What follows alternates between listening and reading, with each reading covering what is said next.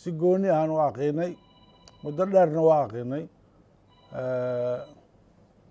warbixintiisa ama taariikh nololeedkiisa wax la soo koobi karo hadda saraakiishan ay sheegi karaan ay soo ururi karaan maaha waqti dheer ay u baahan tahay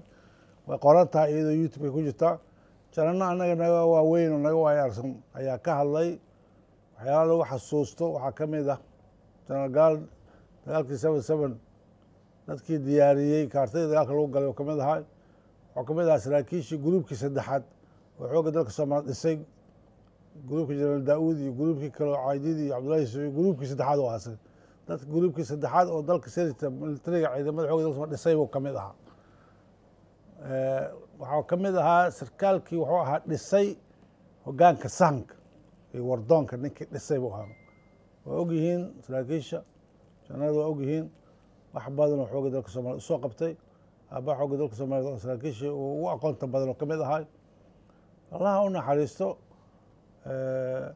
intaas tacsiisaasaan u nimid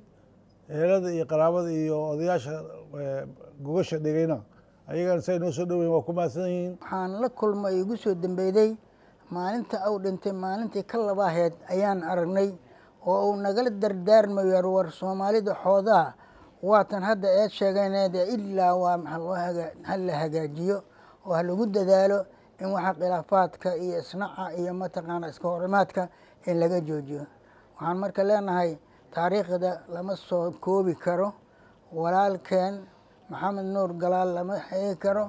allaha u naxariiso jannatilfirdows allaha geeyo inta uu ka tegey oo caruurtiisii iyo xaaskiisii iyo ahladii oo dhoweed oo dhan kulligood dhan iyo annaga oo aan mataqaanaa isku ahayn mataqaanaa muxuu ahaa ciidamada aheedoo halgankaan waa aan ku ahayn saaxiibtimano gooni ah. Waxaan leenahay allah u naxariiso intaasna waa uga mataqaanaa uga